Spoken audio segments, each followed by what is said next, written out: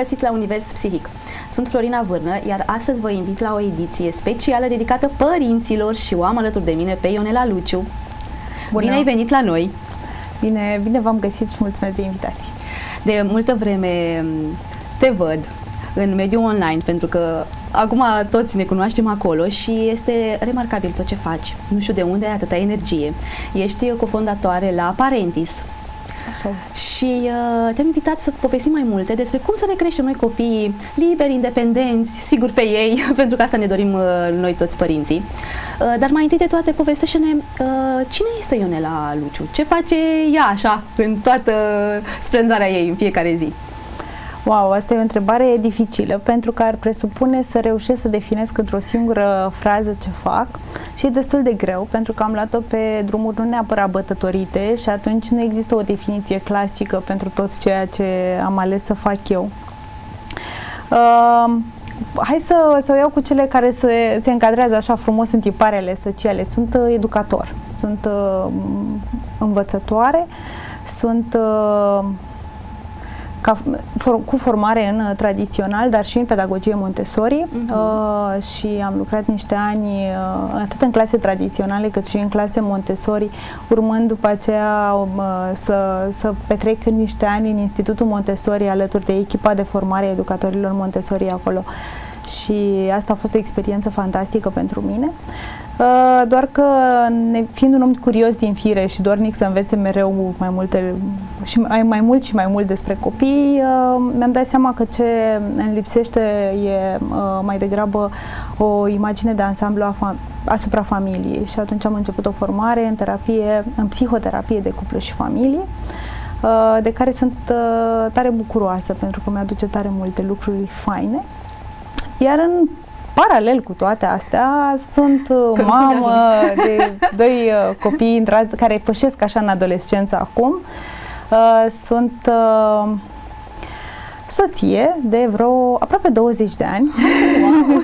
Mulți înainte! Mersi și facem proiectele Parentis uh-huh. într-o echipă și spun facem pentru că suntem o echipă care inițial era tare micuță și uh, așa, cumva timidă, prin 2011 când am început noi acțiunile și acum suntem o echipă pe care râdeam cu colegii mei.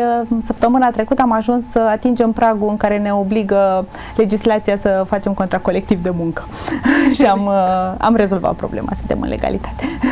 Am văzut că ați avut proiecte și uh, pentru uh, refugiați uh-huh. și într-adevăr aveați acolo foarte multe activități. La un moment dat uh, mă întrebam cum mai faceți față.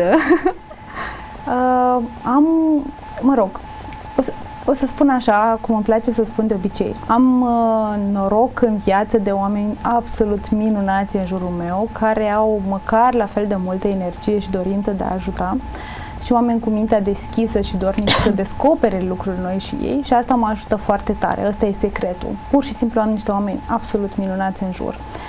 Pe partea cealaltă, pentru că nu e așa, facem de atâta timp psihoterapie per, la nivel personal în cabinet, știu că nu e doar uh, noroc asta, ține mult și de uh, cultura organizațională pe care noi am uh, construit-o și de faptul că investesc foarte, foarte mult uh, atenție în relația cu fiecare dintre oamenii cu care lucrez.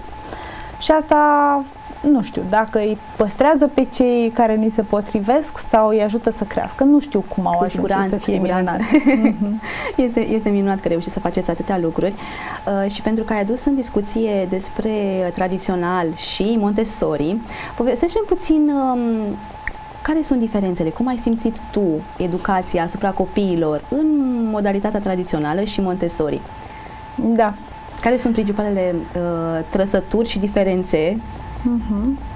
Uh, ce, ce vreau să spun încă de la început este că poți face o treabă excelentă în amândouă metodele și poți să ajuți folosind oricare dintre aceste două metode, poți să ajuți foarte mult copilul să-și atingă potențialul. La fel de bine, un, uh, un om cu mai puțin entuziasm și mai puțină deschidere poate să devină un obstacol în dezvoltarea copiilor în ambele metode. Da? Deci nu aș spune, cred că asta este trăsătura comună a celor două metode. Omul sfințește locul și eu cred în lucrul ăsta cu toată ființa mea. Uh, poți să ai bune intenții și să nu ai destulă deschidere sau destule cunoștințe, poți să ai cunoștințe și deschidere, dar pur și simplu bagajele tale personale de o viață acumulate să te împiedice să, să lași oamenii din fața ta care sunt niște copii să crească. Astea sunt cumva lucrurile pe care le au cele două metode în comun. Diferențele sunt uh, destul de mari din punctul de vedere al cadrului didactic, dacă în tradițional facem o planificare în care noi atingem anumite obiective și livrăm anumite conținuturi. După planificarea noastră, uh, cumva planificare pe care inițial, pe vremea când lucram eu, făceam o dată pe semestru uh, planificarea asta cum e pe module, uh, s-au schimbat un, uh, puțin lucrurile, e foarte fain că se flexibilizează, deși vine cu provocări. Ce se întâmplă în pedagogia Montessori și poate fi destul de controversat până înțelegi ce se întâmplă acolo e că avem o clasă plină de materiale educaționale noi nu le spunem jucării, nici în grădiniță, nici în, uh, pentru copii de un an și jumătate sau de câteva luni, noi le spunem materiale și noi nu... Asta le spune pedagogia și atunci așa o să le numesc și eu. Uh, mergem, urmăm copilul, interesul copilului. Copilul va arăta deschiderea spre ceva și educatorul va face o predare individuală a acelui material și a celor abilități sau noțiuni Copilul va avea spațiu să le exerseze atât timp cât are nevoie și vom ști că le-a integrat complet în momentul în care poate să rezolve practic problema pe care o pune acel material uh, fără să clipească, ba chiar o și predă celuilalt mai mic. Și cumva ce se întâmplă în uh, clasa Montessori strict legat de predare este că pornim de la un copil care inițial observă alți copii cum lucrează cere să îi se prezinte, îi se prezintă individual, exersează în ritmul lui și știm că a ajuns uh, maestru atunci când devine învățător, predă deci altor este oameni. mentor la rândul lui. Da, și cam așa arată evoluția pe, pe un material.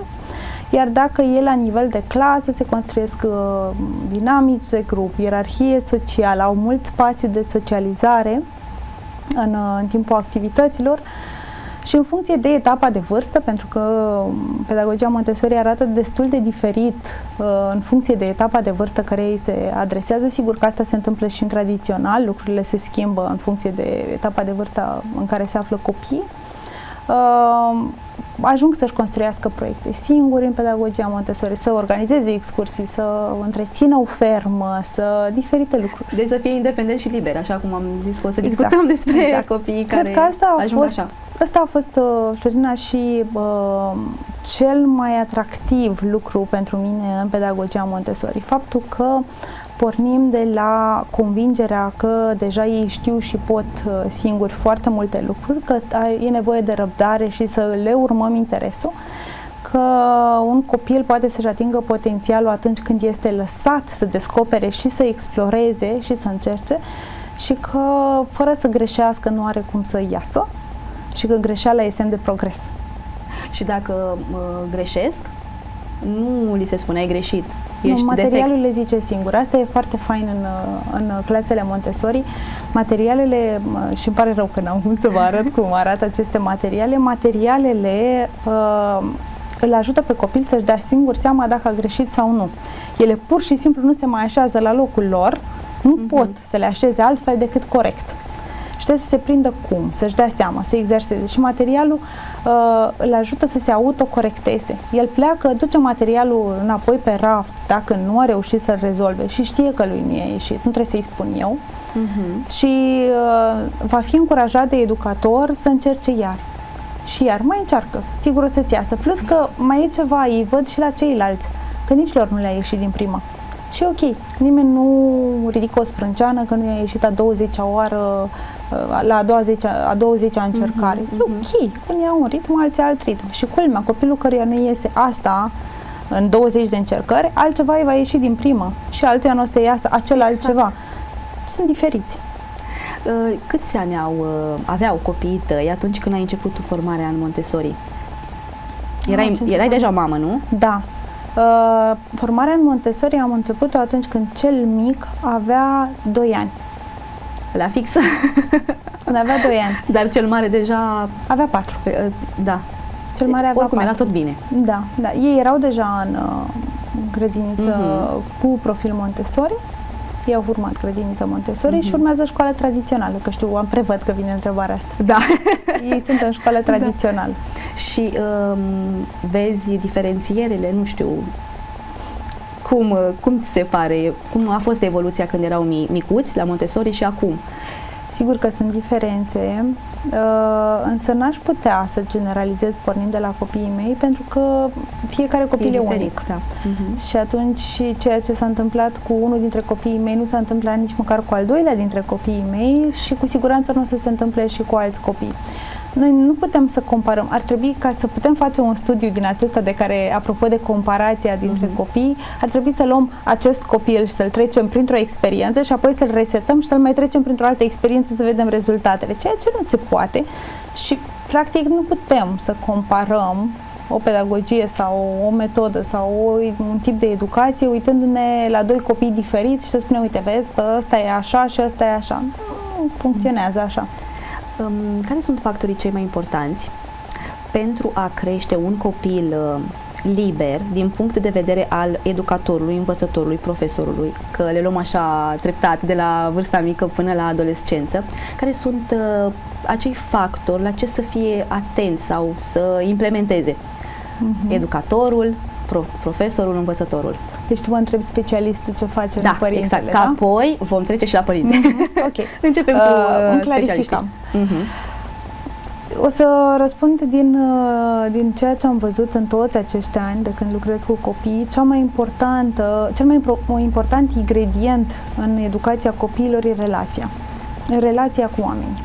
Dacă îi dăm copilului spațiu să-și construiască relații cu colegii și au o relație sănătoasă cu adultul din mediul în care el învață și o relație sănătoasă e, are, are multe caracteristici, dar o relație sănătoasă, să simtă că are în clasă, atunci copilul are șansa să se ducă spre potențialul lui. Ei se nasc cu un potențial fantastic și se apropie de potențial dacă au un mediu favorabil în care ei să, să se dezvolte, să-și urmeze interesele. Și acum, dacă mă duc ce înseamnă această relație sănătoasă, e destul de complex. Uh, dar înseamnă o comunicare bună, foarte mult respect față de copil, chiar și atunci când copilul încă nu a învățat să ne dea respect. Și respectul ăsta înseamnă mai mult decât uh, modul în care îi ne, adres- ne adresăm copilului, modul în care gândim despre copil. Este o formă de respect. E acel lucru pe care îl face educatorul atunci când stă el singur uh, în camera lui, departe de toți copiii și se gândește la ziua lui de muncă. Și dacă ne observăm puțin pe noi și ne observăm ce simțim ca oameni, care e emoția pe care o avem atunci când ne gândim la unul dintre copii, ce gânduri ne răsară în minte, știm dacă noi respectăm sau nu copii. Și atunci un copil în clasă simte acest respect. Problema nu este că el ne judecă, pentru că nu toți copiii au puterea să judece când nu sunt respectați. Unii integrează asta și cel mai rău e atunci când ei cred că dacă adultul semnificativ din viața lui nu îl respectă, el ca om nu este demn de respect. Și asta va îngrădi și libertatea copiilor și independența și atingerea potențialului. Și atunci o să spun că da, relația se construiește pornind de la gândul adultului și de la emoția adultului față de copil. Dacă eu mă duc spre copil cu încredere și cu gânduri bune de fiecare dată, sau atunci când în mintea mea de om normal, că sunt un om cu puteri limitate, a răsărit o emoție nu tocmai de dorit în relația cu copilul sau un gând nu tocmai de dorit, mă uit spre ele cu blândețe și spun atât ți-a ieșit astăzi, dar mâine copilul ăsta merită mai mult. Da, cam asta înseamnă o relație bună și asta este din punctul meu de vedere cheia succesului pentru copii și pentru o clasă de copii. Respectul față de ei, Și asta este indiferent de vârstă. indiferent de vârstă. Și alt, uh, alt aspect care ar mai, ar mai fi important, uite să luăm de exemplu creșa, Mhm. la 2 ani, Mhm. când un an jumate sunt unii copii care merg. Um, care este factorul cel mai important acolo în dezvoltarea și atingerea potențialului, că de acolo pleacă totul? Sigur că tot ce înseamnă din uh, respectul, așa cum l-am definit, l-am definit uh, general în relația cu copilul, dar dacă îi luăm pe fiecare etapă de vârstă, sigur că so- forma de manifestare a acestui respect față de ființa umană uh, de care povesteam, forma de manifestare e diferită de la adult spre copil în funcție de vârstă. Dacă la un copil mai mare înseamnă să-i ascult opiniile, să le iau în calcul, să le validez, la un copil care nu vorbește, uh, nu prea pot să-i ascult opiniile, dar ce pot să fac cu un copil mai micuț este să-i dau libertate de mișcare, să înțeleg că nevoile lui sunt reale, să înțeleg că manifestările uh, emoționale ale copilului întotdeauna sunt corecte. Nu neapărat că un comportament ce vine din emoție este comportamentul de dorit. Dar dacă eu văd un copil care este absolut dramatic, trântit pe jos și țipând, ce am eu ca adult de, de văzut acolo este că acest copil simte atât de intens pe cât arată. Asta trebuie să măsor întâi. Cât de intens este? Atât de intens. Păi dacă eu aș simți atât de intens încât să mă trântesc pe jos, chiar dacă nu o să o fac, pentru că măștile sociale mm-hmm. și capacitatea mea de a mă uh, reașeza un picuț în emoțiile mele are niște experiență, niște zeci de ani de experiență în plus de față de copil. Da.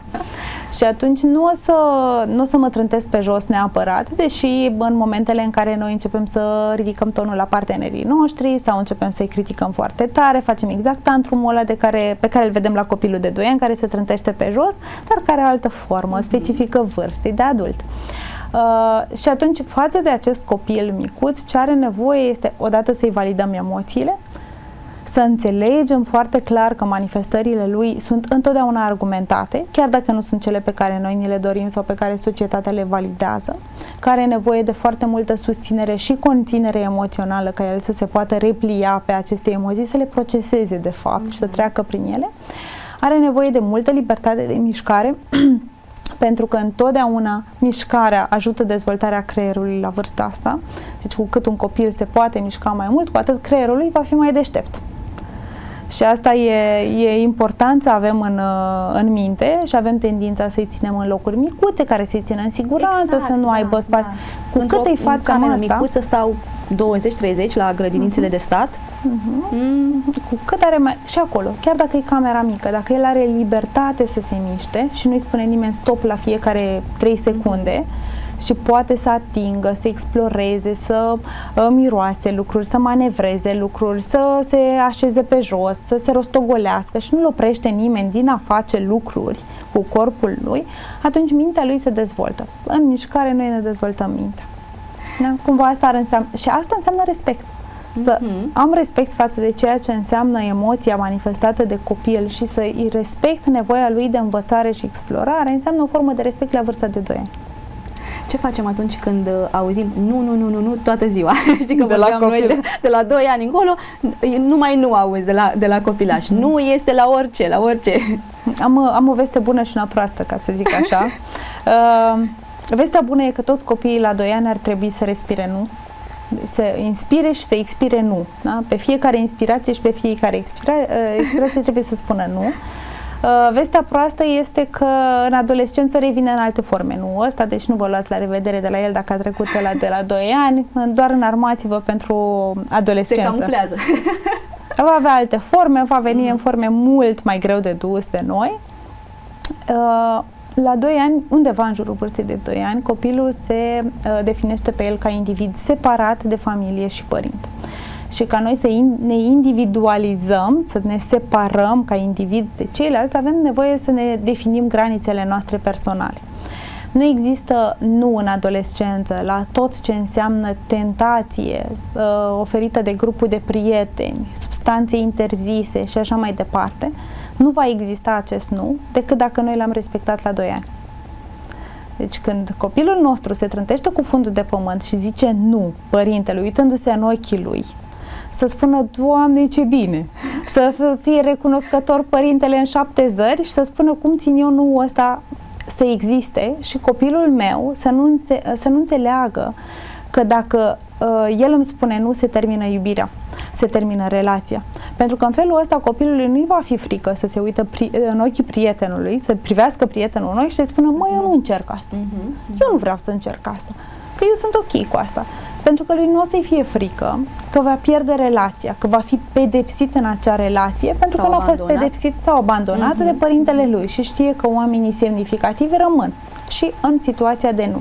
Deci odată își definește granițele lui și doi, învață că nu, nu pune capăt unei relații. Deci, în primul rând, la acest nu ne ducem cu recunoștință. Nu ne ducem cu furie și nu ne ducem cu supărare, cu frustrare și cu așa mai departe. Nu, ăsta trebuie celebrat. Da? Merită o petrecere. nu ăsta. Că e garanția, sau cum să spun, e, e mai degrabă un, un punct important în ceea ce înseamnă siguranța copiilor noștri mai târziu.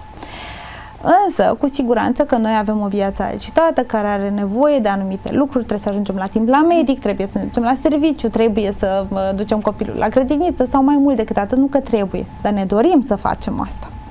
Da? Și atunci copilul are nevoie în momentul în care uh, e în această etapă de niște limite sănătoase în care noi definim ce înseamnă siguranța copilului, ce înseamnă nevoile sistemului numit familie. Da? Familia asta are aceste nevoi pe care noi colaborăm toți membrii pentru a le împlini și acestea sunt libertățile tale, acele locuri în care el poate să spună nu și e ok.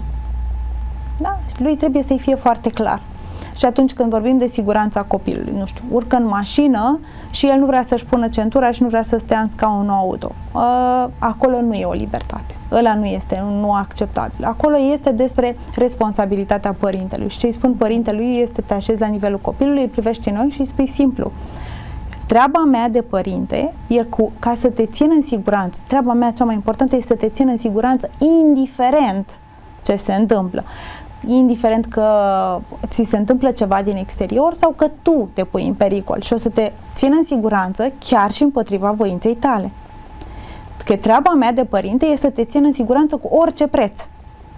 Asta, asta e cel mai important dintre sarcinile unui părinte. Dacă eu las copilul pentru că mi-e frică de nuul lui, mi-e frică de tantrumul lui, mi-e frică de plânsul lui și îl las să se pună în pericol, să-și pună viața în pericol, eu nu mi-am făcut treaba de părinte. Exact. Și atunci primul lucru la care mă uit, mă uit, e o treabă ce ține de siguranța copilului meu. Dacă e o treabă ce ține de siguranța copilului meu, nu este despre nourile lui și lui și nu este despre negociere, este despre decizia mea de părinte. Uh-huh. Și o să-i explic copilului, pentru că asta e treaba mea să te țin în siguranță, o să o fac, pur și simplu. Cu siguranță că asta nu înseamnă că iau copilul, smulg, îl, îi mai dau și două și îl da. Niciodată. Îi explic de 20 de ori dacă am timp, o să-l iau spunându-i dacă e o situație urgentă și nu am cum, e posibil să fiu nevoit să-l iau în brațe și să-l așez în scaunul respectiv sau să-l duc la medic când el nu-și dorește, dar în tot timpul ăsta el trebuie să înțeleagă că îi aud, nu, uh-huh. că pentru mine contează, nu ăla, că și eu sufăr, că e atât de greu pentru amândoi și are dreptul să, să știe asta, dar și mie mi-e greu când te văd că, că ți-e atât de greu și aș vrea să fie mai ușor pentru amândoi povestea asta, dar nu stă în puterea mea. O să te țin în siguranță chiar dacă tu spui nu, da? Și apoi o să vorbim despre asta. Și imediat ce copilul s-a liniștit, îi explicăm ce s-a întâmplat. Uh-huh. Puiule, a trebuit să-ți scot uh, mucișorii din nas, chiar dacă tu nu voiai să faci asta, pentru că, uite, deja otita ta s-a agravat și nu poți să te lasi să ajungi într-o situație foarte gravă, da? Îmi pare rău că te, ți-a fost atât de frică și că nu am găsit o cale mai bună ca ție să ție mai ușor să fac asta. Asta a fost singurul mod în care eu am știut să te protejez azi. Și spun copilului că e despre asta. Dacă însă e despre ieșitul afară și copilul nu vrea să iasă în parc și pentru mine, nu știu, am terasă, stau um, undeva unde să-l scot la aer și există și alternativă, ok, s-ar putea să nu fie așa un capăt de lume dacă a zis nu și să spui ok, nu mai ieșim în parc, da? Uh-huh. și e în regulă. Uh-huh. Și acolo unde nu e de uh, supraviețuire, de siguranța copilului, are nevoie și de multă libertate să spună nu și să-i acceptăm numurile astea. Eu nu aș schimba niciodată un copil de haine dacă nu e o problemă uh-huh, gravă împotriva uh-huh. voinței lui. Uh-huh. Și aici ajung în zona aceea care e foarte minată, așa care se numește educație sexuală. Când, da. când eu în numele iubirii pe care ți-o port, fac ce vreau eu cu corpul tău, te dezbrac, ce mesaj îți transmit eu în creierul tău de bază? Care exact. va fi imaginea ta despre cum arată iubirea? Uh-huh. Da? Și atunci s-ar putea să fie nevoie de o luptă un pic mai lungă, de mai multe explicații, de mai multă înțelegere, răbdare. Dar copilul va avea, va avea timp să facă, uh-huh. să integreze asta. Și culmea, dacă noi suntem foarte ferm pe poziție, nu cedăm, le explicăm de fiecare dată ferm, mai degrabă mai devreme decât mai târziu vor înțelege că există limite clare în relația cu el și libertăți pe care el le are. Și iarăși limita clară e de siguranță și de rolul și de funcționalitatea familiei care înseamnă tot siguranță din punct de vedere emoțional pentru copil și libertățile sunt toate celelalte pe care copilul le poate face în fiecare zi, toate celelalte alegeri. Ce culoare poartă, ce, uh, ce culori desenează, dacă își cumpără creioane colorate normale sau cerate, mm-hmm. dacă astea sunt, nu sunt de siguranță, astea exact. sunt negociabile tot timpul. Așa eu cu Sabrina când o duc dimineața la grădiniță, de obicei nu, nu vrea uh, să-și ia um, căciula respectivă sau culoarea respectivă. Nu mă stresez deloc. Da, așa Sabrina, o luăm pe asta. ne dezbrăcăm dacă vrei pe asta. Da, și mă gândeam dacă e ok sau nu să fac asta. Uite, acum că ai spus că e ok, mă, mă simt uh, mult mai bine. Și am ajuns la uh, discuția despre educația sexuală, unde este atât de importantă. Uh, Uh, cine este responsabil în primul rând pentru educația sexuală? Că este o, o întreagă discuție, că părintele, că școala dă mingea dintr-o parte în alta și de la ce vârstă și ce le spunem în funcție de vârstă. Fete, uh, băieți, oho, deci avem aici o, o discuție. O să cât timp mai avem? Uh, educația sexuală e un teren uh, destul de controversat așa în ce privește educația din România și e un teren uh, pe care am intrat cumva împinsă de colegi și de părinții cu care lucrez și care cumva au spus ieși, povestește despre asta și eram, nu pentru că mi-ar fi fost greu să vorbesc despre educație sexuală, ci mai degrabă că e atât de integrată în normalitatea mea, încât am senzația câteodată că povestesc despre cum apa este udă. Și mi se pare atât de simplist ceea ce spun, încât nu înțeleg de ce e nevoie să ții un curs despre asta. Între timp m-am lămurit de ce și mi-am adus aminte că educația noastră sexuală a fost așa cum a fost și că istoria noastră este așa cum este și așa mai departe. Uh, și mi-am dat seama că felul în care privesc astăzi educația sexuală vine în urma a 20 și ceva de ani de formare în spate pentru mine și de aceea apa e udă pentru mine, dar nu toată lumea a trecut prin 20 de ani de formare țintit pe educație, parenting uh, exact. și așa mai departe. Și atunci, când am acceptat asta, am zis ok, o să povestesc și despre asta. Educația sexuală, real vorbind, începe cu primul gând despre e fetiță sau e băiat când mama e însărcinată. Nici măcar nu trebuie să aibă o vârstă copil. Pentru că modul în care eu tratez uh, rolul de gen al copilului apare în gândul părinților încă de la momentul în care uh, e conceput copilul și poate așteaptă să-și dea seama să afle dacă e fată sau băiat. Și să avem familiile care vor fete, care mm-hmm, vor mhm, băieți mm-hmm. și o să vedem că dacă începem să povestim cu ei, e și explică de ce. Și de obicei este despre rolul de gen sau despre ceea ce au convingerea că vor fi avantajele sau dezavantajele unuia dintre genuri. Da? Și acolo noi începem cu educație sexuală în momentul în care vorbim de rol de gen în mintea părintelui înainte să îi se adreseze copilul. Apoi când aducem și o să sar așa din una în alta, pentru că e foarte mult pe fiecare etapă și nu o să uh-huh, avem uh-huh. timpul să facem asta, să ne, uh, să ne gândim când aducem copilul acasă. Și o să vedem că avem o fetiță și tata spune că nu poate să, să spele copilul când îi schimbă scutecul. Aia e educație sexuală. Aia e educație sexuală.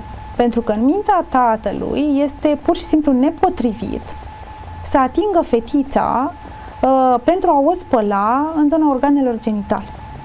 Ceea ce este surprinzător, dacă stai să te gândești așa, că e un copil care încă nu are identitate de gen. El nu știe dacă e fată sau băiat la o zi de la naștere, dar părintele deja îi transmite emoțional o informație. Da? Și acolo e tot educație sexuală. Educația sexuală este când începem, când învățăm copilul că trebuie să fie schimbat și nu poate să rămână murdar sau ud în scutecul lui sau în chiloțelul pe care îl folosește. Și aia educație sexuală este despre igienă și are legătură cu felul în care își respectă corpul, felul în care își tratează propriul corp și așa mai departe. Și încet, încet, denumirile, așa cum povestim cu lejeritate, asta e ureche, asta e năsuc, asta mm-hmm, e guriță, ia uite mm-hmm, ochișorii, mm-hmm. dar la organele genitale, e acolo jos. Da. Da? Și evităm să folosim cuvintele specifice, doar că ce am învățat de-a lungul timpului este că nimic nu sperie un abuzator sexual mai tare decât un copil foarte bine informat.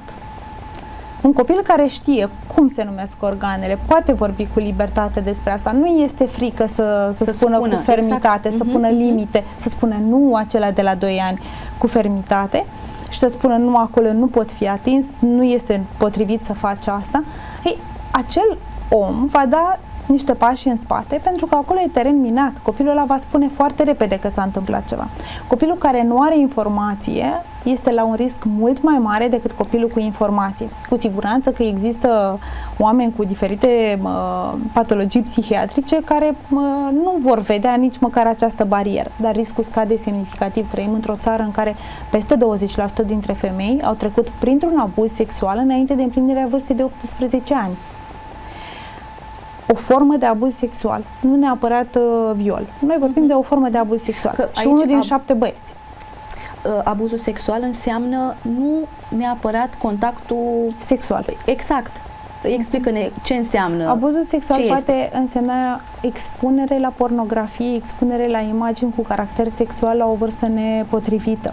Abuz sexual poate însemna iluzie, atingere, vorbit nepotrivit către un copil. Uh-huh. Asta aduc la nivelul dezvoltării copilului pot provoca, pot duce la traume și trauma nu e dată uneori de cuvântul aruncat de vecinul într-un mod absolut nepotrivit către copil.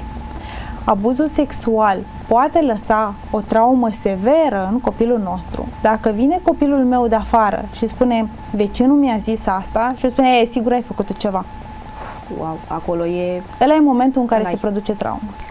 Sau da. ai, nu vorbim despre asta. Ei, nu cred, cred că ai interpretat tu ceva uh-huh. greșit. Uh-huh. Acela e momentul în care terenul pentru traumă se formează, pentru că ce se codează nu e trauma, nu ceea ce ni s-a întâmplat. Da. Uh-huh. Nu povestea uh-huh. în sine, ci modul în care noi o interpretăm, o integrăm și o facem să fie parte din ființa noastră, codul intern pe care noi îl scriem. Și de multe ori, ce nu luăm în calcul e că uh, abuzatorii sexuali sunt majoritatea lor, Din covârșitori de mulți, sunt oameni cunoscuți de părinți da. sau de copil. Spun că și băieții trec prin abuz sexual pentru că noi avem tendința să ne uităm la bărbați ca abuzatori da. și la fetițe sau femei ca uh, victime. Nu e atât de alb și negru. Sunt femei abuzatori sexuali Există bărbați abuzatori sexuali, există fete abuzate sexual și există băieți abuzați sexual. Nu e alb și negru. Da? Toată lumea uh, are acest risc sau poate fi expusă într-o formă sau alta. Interesant este că dacă noi ne așezăm la o masă cu prietenele noastre și avem o discuție foarte sinceră, vom descoperi că sigur cunoaștem măcar o persoană care a trecut printr-o formă de abuz sexual. Măcar o persoană. Da? Dacă nu ne spune nimeni, probabil că e suficient de traumatizat încât să nu poată mărturisi. Pe asta da? că uh, tot timpul se întreabă, victima este întrebată de ce nu ai spus.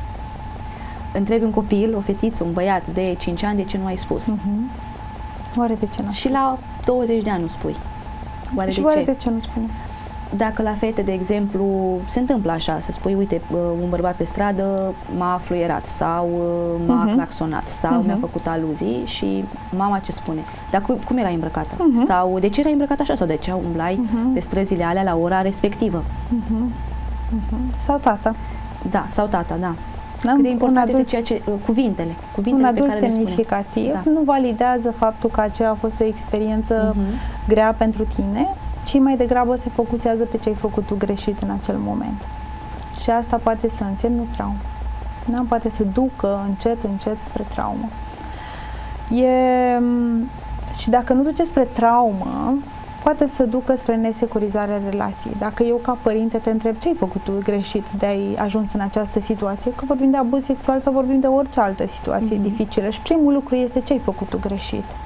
Ce va face copilul nu va mai veni spre noi acea relație e afectată și revenim la ce înseamnă relația de siguranță, exact, care da. e gândul din spate, care e emoția mea din spate în legătură cu copilul acela și emoția și gândul meu sunt responsabilitatea mea de adult, nu a copilului. Niciodată nu e din vina copilului.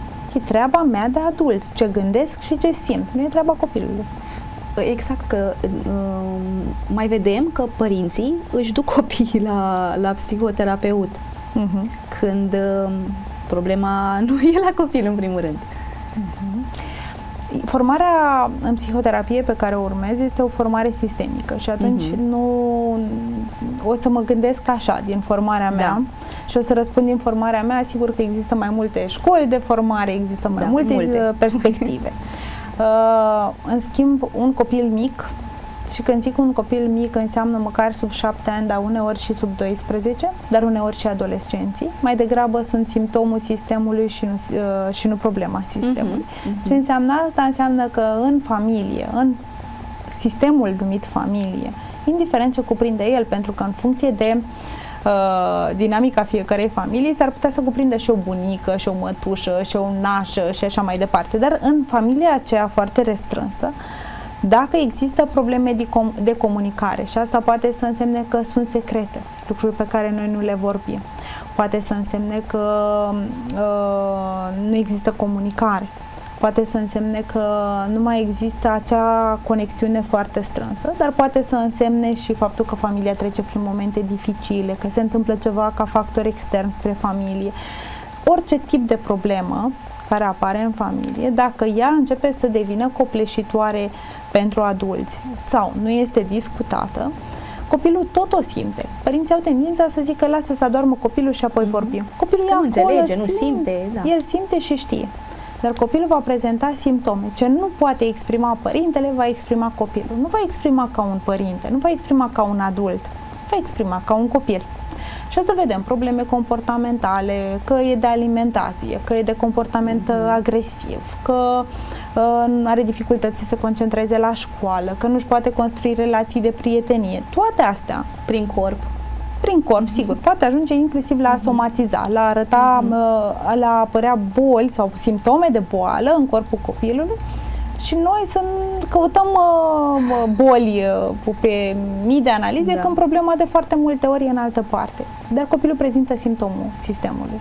Da? Și atunci când vedem că avem o problemă în relație, în, la copil, definim că e la copil, ne uităm bine în, în, în dinamica familiei și vedem ce ne arată copilul nostru. Ei sunt foarte deștepți, nu sunt întâmplător acolo.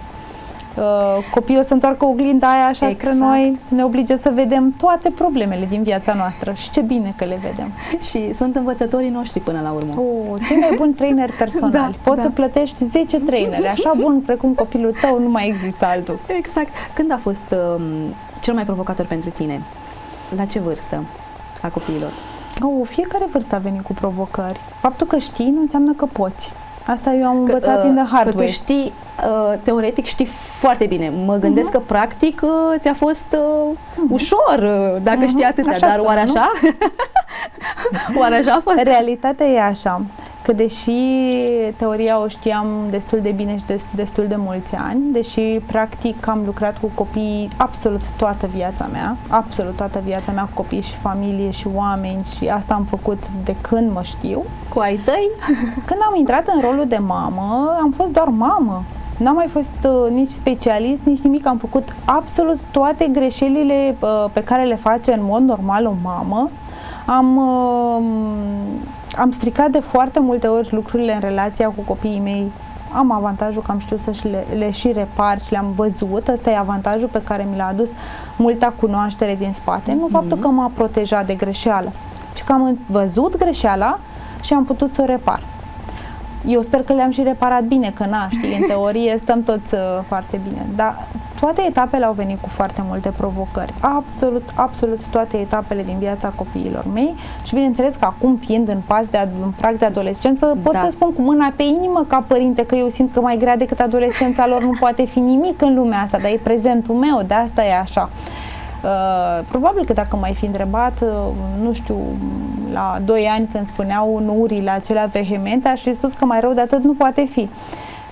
Pentru că noi ca părinți până la urmă suntem în relația prezentă cu copiii noștri și ne e greu cu ce ne e greu astăzi, mm-hmm. nu cu mhm. ce o să ne fie greu peste șapte ani. Sunt convinsă că nici pe departe nu e cea mai grea dintre etapele prin care vom trece împreună asta. Mă aștept cu nerăbdare provocările viitoare ale relației cu copiii mei, care sunt convinsă că vor fi generoase. Ce ai învățat de la ei pe parcurs? Mm. Wow, nu știu, așa niște faină. lecții prețioase pe care, nu știu, nu ai reușit în toate formările tale, uh-huh. în uh, sunt toate școlile. Sunt foarte multe lucruri pe care la nivel teoretic le știam, le știam și practic, dar am reușit să le integrez complet în viața mea cu ajutorul lor. Foarte multe. Probabil că cea mai importantă lecție a fost să mă uit cu adevărat în mine de câte ori mi-e greu și nu în exterior. Și deși aveam cumva gândul ăsta dintotdeauna și cumva instinctiv mă uitam spre mine și nu spre exterior când îmi era greu cu ce se întâmpla în jurul meu sau în viața mea, copiii mei m-au, au apăsat butoanele alea atât de tare încât a trebuit să mă uit cu toată curiozitatea și uneori chiar cu furie spre interiorul meu și să zic, mă, ce e greșit acolo? Uh, și să descoper ce e greșit acolo, să lucrez cu asta. Uh, ce, ce am mai învățat de la copiii mei e că e responsabilitatea mea să lucrez cu mine.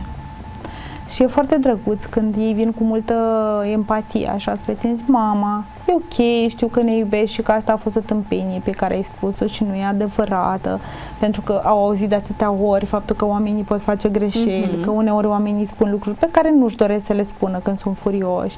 Și explicându-le de foarte multe ori, la un moment dat s-a întors spre mine povestea și s-a e ok, erai doar foarte furioasă, erai obosită, știu că ai avut o zi grea, ai spus toate lucrurile astea și trebuie să recunosc că acela a fost unul dintre cele mai grele momente, pentru că a trebuit să mă uit spre mine și să mă întreb cum am ajuns să pun pe umerii copiilor mei responsabilitatea de a avea înțelegere față de mine.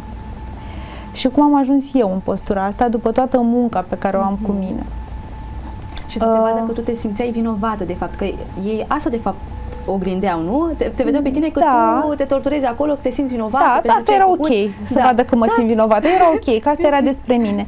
Dar responsabilitatea lor pe care și-o asumau, de a, mm-hmm. de a valida mm-hmm. că e în regulă să fiu așa, pe mine m-a speriat în acel moment. Și trebuie să recunosc că am avut câteva ședințe de psihoterapie personală pe, pe povestea asta cumva lămurindu-mă între timp și observând, m-au făcut să mă uit spre ei și să văd dacă chiar sunt responsabil de ceea ce uh, simt eu și încearcă să sau au învățat despre empatie și compasiune, că asta e bine.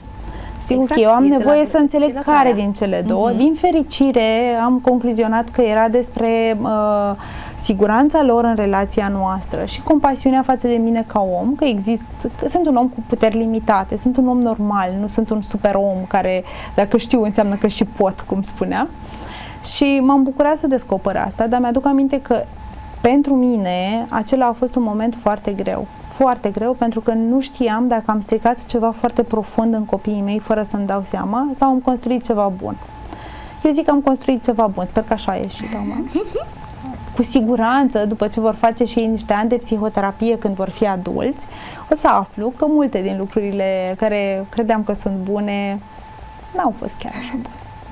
Mai avem doar uh, vreo 8 minute, cred, și am ajuns la uh, partea mea preferată de top 5 uh, cărți terapeutice, dar tu mi-ai spus că preferi autori. Mm-hmm. Să ne prezinți autori și tare curioasă sunt să văd ce autori uh, a fost o te-au marcat pe tine. Deci în momentul în care mi-ai spus că ar trebui să vorbim despre cărți. Am avut, îți povesteam chiar înainte să începem uh, întâlnirea noastră, că am avut așa un moment de panică. Zic, Doamne, ce autor să recomand? Că nu există un autor potrivit pentru toți oamenii.